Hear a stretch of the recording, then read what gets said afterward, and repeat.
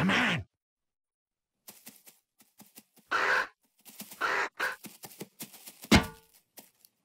Come on, it'll be fun.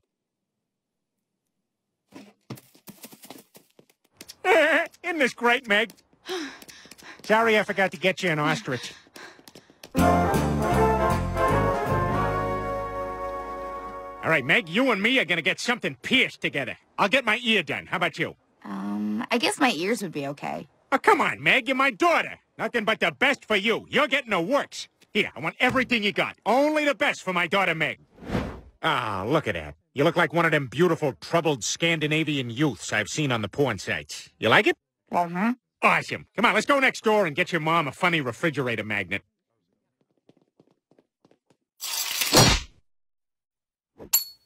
I got a piercing, too.